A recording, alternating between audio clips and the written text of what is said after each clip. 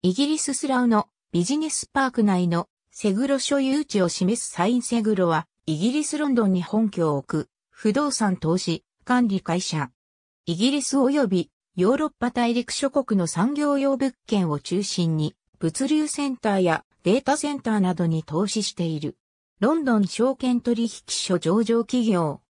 1920年、バークシャースラウの現在スラウトレーディングエステートと呼ばれる土地の取得と開発を目的として、スロー、パーシバル・ペリーとノエル・モブズにより、ザスラウトレーディングカンパニーリミテッドとして設立された。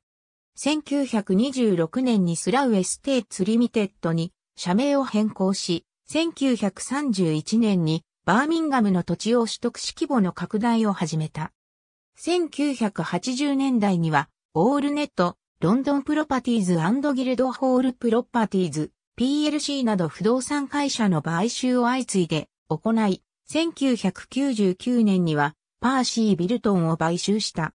2002年にデータセンター用不動産の取得を開始し、2004年11月、イギリス不動産大手のランドセキュリティーズへの商業用、不動産売却と引き換えに、同社の産業用物件を買収した。2007年1月、不動産投資信託を中心とした事業体制への転換を行うと同時に、社名をセグロに変更した。2009年7月、ロンドン周辺に産業用不動産を保有していた競合のブリックストン PLC を買収し、イギリスの産業用不動産最大手となった。セグロの主な顧客は DHL、FedEx、Amazon.com などであり、ロンドン大都市圏やテムズ川周辺地域に多くの物件を所有している。